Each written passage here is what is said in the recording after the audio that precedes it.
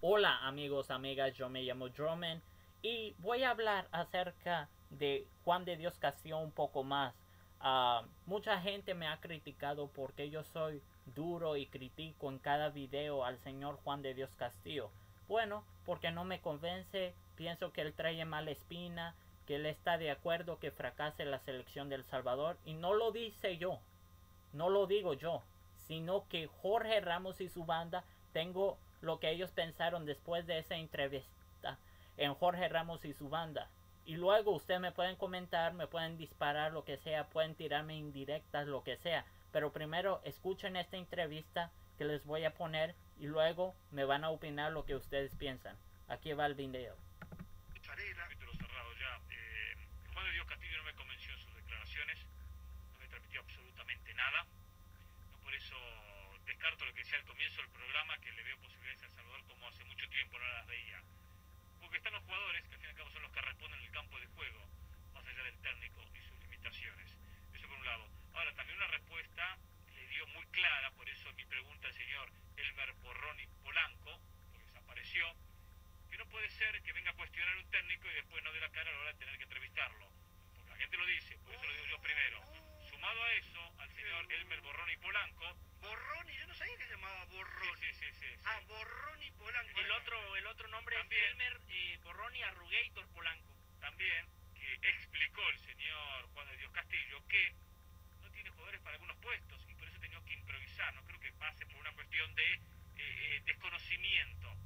No ha tenido que cambiar porque no hay jugadores para algunas posiciones. Lo dijo bien Y a claro. veces es mejor utilizar a otro jugador que se logra acoplar esa posición que terminar poniendo un jugador que tenga limitaciones para el puesto. Ahora, esto solo no le pasa a El Salvador. Hay algunos puestos donde no hay grandes jugadores. Pasa en Argentina, Exacto, Ramos. No tienen hoy laterales. Y Uruguay terminan poniendo pero- centrales de laterales. Correctamente. Pero no es que Sabela no Correcto. conozca. Ya le había a los pasado con jugadores. Maradona eso. Exactamente. Pero claro. cuando, Maradona no supera. pero cuando a usted le ofrecen un trabajo, como en este caso se lo ofrecieron al Cuate Castillo, usted dice, no tengo un jugador de esas características, no tengo centro delantero, no tengo un creativo, bueno, me- mejor no tomo el trabajo. Ok, escucharon parte de la entrevista.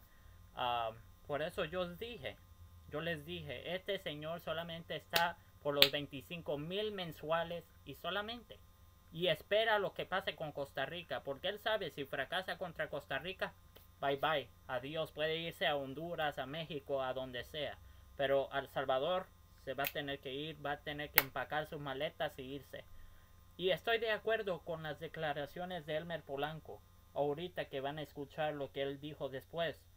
Porque no convence este técnico. Tú te pones a pensar, ¿por qué el Guate Castillo tomó un trabajo yendo a un país desconocido que no sabe nada de la materia futbolística, la materia futbolística prima y la filosofía de los jugadores? Y estás a un mes de un partido crucial contra Costa Rica. Voy a dejar que ustedes escuchen lo último del audio y presten mucha atención. Él sabía lo que se enfrentaba. Ah, no, pero no, yo no voy a eso, él no, eh, el señor Castillo no cuestiona eh, eso, no critica, eso lo que dice, simplemente no responde a las críticas de los periodistas, como el señor Elmer Borrón y Polanco, que dicen que no sabe de fútbol. A ver, señor Borroni Polanco, ¿qué pasa con el Fito Celaya? ¿Ya está listo para ser convocado si el técnico así lo entiende, Borroni? A ver, a ver, ven- venga acá. ratito viene. venga acá. Jorge, exacto, sí. aprovecho para eh, Sí. contarle que fue una buena jornada para los futbolistas latinoamericanos en la Champions. Oscar, eh, el brasileño, anotó los dos goles por el Chelsea. Arturo Vidal, el chileno, anotó un gol eh, por la Juventus de Turín. Lo que usted mencionaba, el doblete de Lionel Messi. Por el Valencia también anotó el paraguayo Nelson Aedo Valdés. Así que en líneas generales, buena jornada para los futbolistas que nos representan.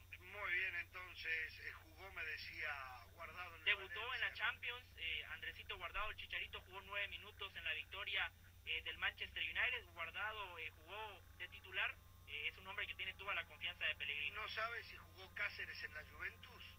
Eh, se lo digo en este mismo momento, exacto, porque a ese es el que quiero yo para que siga y le pegue a, a Messi en el partido Argentina-Uruguay que vamos a tener acá en E ESPN Deportes Radio. no, ¿sabe qué? No lo veo, no lo veo en, no en el juego titular. Uruguay, me está preocupando. Hoy sí, Uruguay está pegando. No sé qué.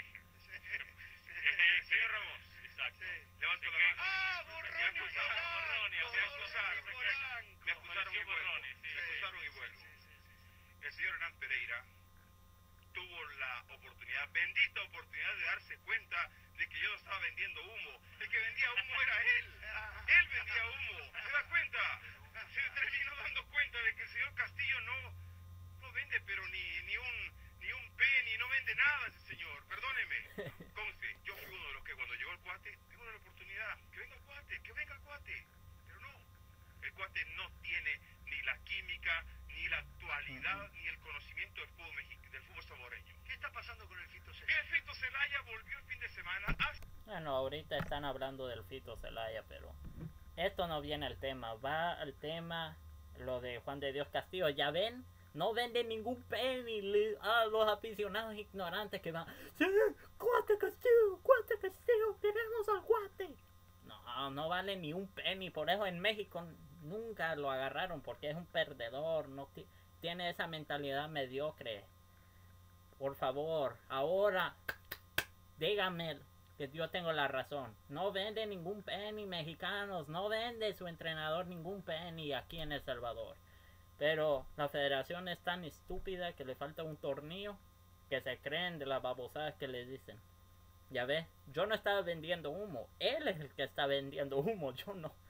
O sea, me pueden criticar lo que sea en este video, pero yo les dije la verdad. El mexicano Cuate Castillo solamente está por los 25 mil y se va. Muchas gracias, tengo que decir esto y nos vemos. Bye bye.